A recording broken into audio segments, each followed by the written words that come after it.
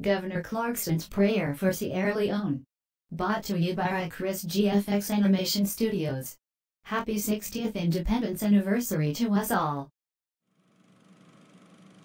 O Lord, I beseech thee favorably to hear the prayer of him who wishes to be thy servant, and pardon him for presuming to address thee from this sacred place.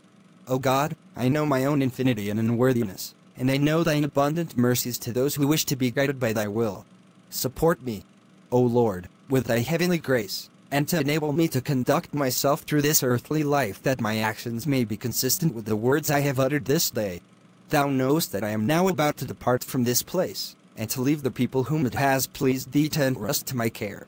Guide them, O merciful God, in the paths of truth and let not a few wicked men among us draw down thy vengeance upon this colony. Engraft into their hearts a proper sense of duty, and enable them through thy grace to conduct themselves as Christians, that they may not come to thy house without that pleasing emotion which every grateful man must feel when paying adoration to the author of life.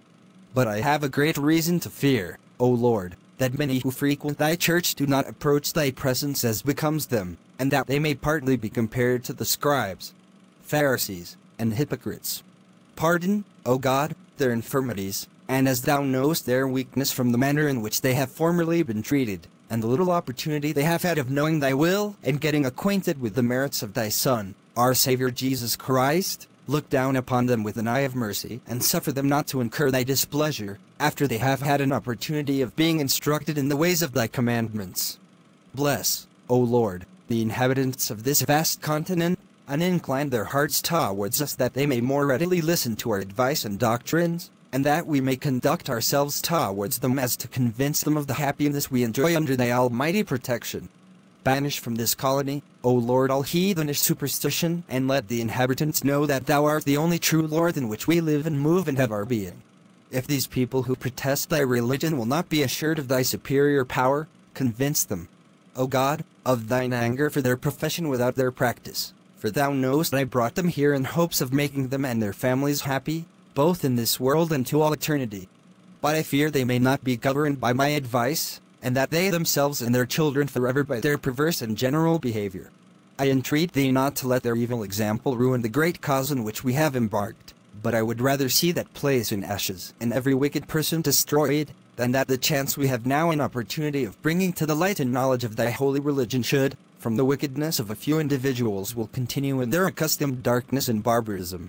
They know that I have universally talked of their apparent virtue the goodness, and have praised thy name for having permitted me to be the servant employed in so great and glorious a cause.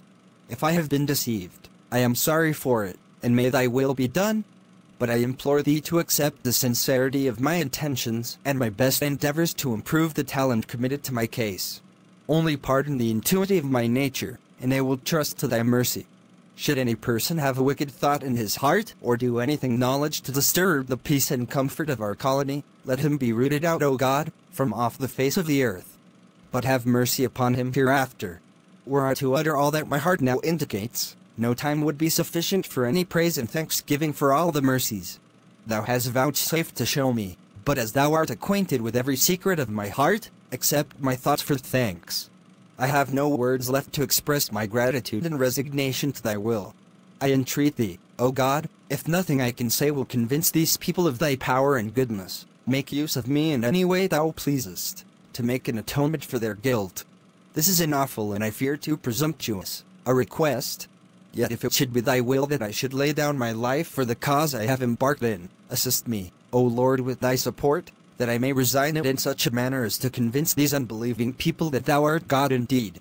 May the hearts of this colony, O Lord, imbibe the spirit of meanness, gentleness, and truth. And may they henceforth live in unity and godly love, following as far as the weakness of their mortal natures will admit, that most excellent and faultless pattern which thou hast given us in thy Son our Saviours, Jesus Christ, to whom with thee and the Holy Spirit be all honor and glory, now and forever. Amen. Amin.